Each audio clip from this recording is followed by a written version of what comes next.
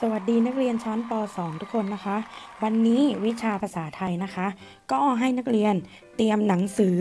หลักภาษาขึ้นมานะคะ แล้วเปิดหนังสือหลักภาษาไปที่หน้า 39 ค่ะ ด้านบนของหนังสือหลักภาษานะคะ จะมีบทร้อยกองนะคะ อยู่ในกรอบสี่เหลี่ยม ตรงนี้นะคะ นักเรียนเห็นไหมคะ อ่า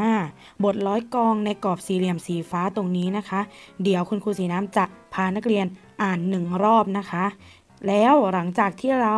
อ่านบทร้อยกองไปด้วยกันแล้วนะคะ คุณครูสีน้ำก็จะมีเกมมาให้นักเรียนเล่นค่ะ นักเรียนชี้ตามด้วยนะคะ ยามสายฝนโปรยลมโชยพัดเอื่อย ปุยฝ้ายเดินเฉยเริ่มเหนื่อยหยุดเดิน แวะกินกุยช่าย ปลากรายเพลิดเพลิน พบนุ้ยเลยเขิน ชวนเชิญมาบ้าน คุณยายรอคอย หลานน้อยเลิกงาน เลยเวลานาน จะพานเป็นลม หลานกลับเข้าบ้าน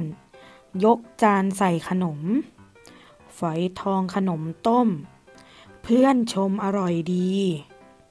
มะม่วงเขียวเสวย เค้กใบเตยมี เนื้อเปื่อยเลวรี่ ร้านนี้ขอบคุณ ก็จบกันไปแล้วนะคะสำหรับบทร้อยกองนะคะทีนี้นะคะเมื่อกี้ครูสีน้ำบอกนักเรียนว่า วันนี้ครูสีน้ำจะพานักเรียนมาเล่นเกมใช่ไหมคะ เกมของเราในวันนี้ก็คือเกม ตามหาคำมาตาเกยจากบทร้อยกองนะคะ กติกาก็คือ ให้นักเรียนเตรียมสีไม้นะคะ สีส้มขึ้นมานะคะ เราจะมาตามหานะคะคำในมาตาเกยจาก บทร้อยกองนะคะ ในกรอบสีฟ้านี้ โดยครูสีน้ำจะมีเวลาให้นักเรียนทั้งหมด 30 วินาทีนะคะ พอนักเรียนได้ยินเสียงสัญญาณนาฬิกานะคะ ให้นักเรียนเริ่มนะคะ ใช้สีไม้สีส้มนะคะ ขีดเส้นใต้คำที่สะกดในมาตราเกย เท่านั้นนะคะ ตัวอย่างนะคะ อย่างเช่นคำว่าสายคำว่าโปรยคำว่าโชยคำว่าเอื่อยนะคะ อันนี้ก็ดูไปทีละบรรทัดนะคะ 30 วินาทีนะคะ ให้นักเรียนหาให้ได้เยอะที่สุดนะคะ เริ่มได้เลยค่ะ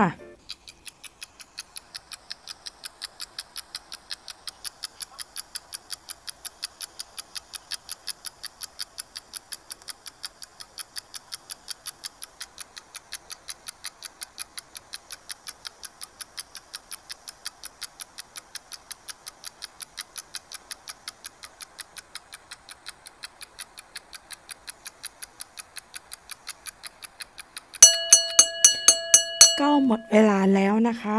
กับการตามหาคำในมาตราเกยนะคะ จากบทร้อยกองนี้นะคะอะเดี๋ยวเรามาดูนะคะ ว่าบทร้อยกองนี้มีคำในมาตราเกยทั้งหมดกี่คำนะคะ นักเรียนนับได้กี่คำกันเอ่ยเดี๋ยวเรามาดูไปพร้อม ๆ กันเลยนะคะ 1 2 3 4 5 7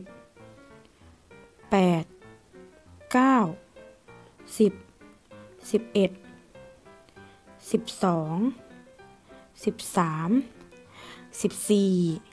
15 สิบหกสิบเจ็ดสิบแปดสิบเก้ายี่สิบ คุณครูสีน้ำนับได้ทั้งหมด 20 คำค่ะ นักเรียนนับได้กี่คำกันบ้างคะ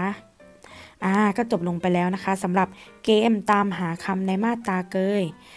ต่อไปนะคะก็ให้นักเรียนเตรียมสมุดวิชาภาษาไทยขึ้นมาค่ะ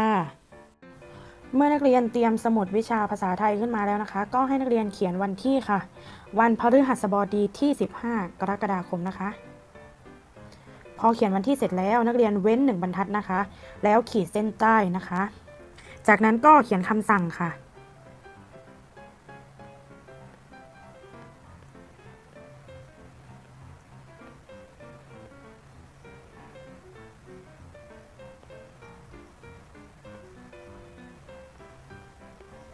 หาคำมาตาเกยที่หายไปนะคะ พอเขียนคำสั่งเสร็จแล้วก็มาเขียน เลขหน้าข้อค่ะ เขียนเป็นเลขไทยนะคะ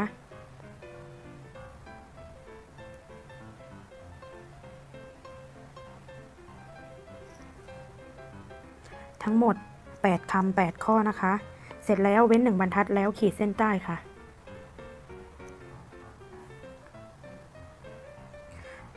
พอนักเรียนขีดเส้นใต้เสร็จแล้วนะคะ ให้นักเรียนเขียนโจทย์นะคะ ข้อที่ 1 ถึงข้อที่ 8 ตามคุณครูสีน้ำค่ะ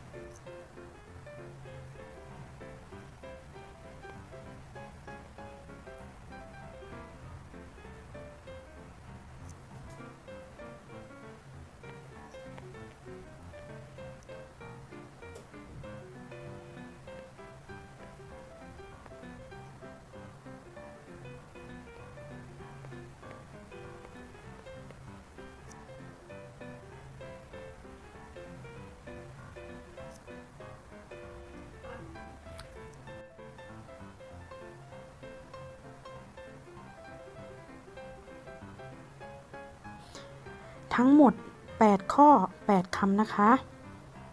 พอนักเรียนเขียนโจทย์เสร็จแล้วนะคะ ก็ให้นักเรียนเริ่มทำเลยค่ะ หาคำมาเติมนะคะคำที่ครูสีน้ำกำหนดให้นะคะ ให้เป็นคำในมาตราเกยที่มีความหมายนะคะ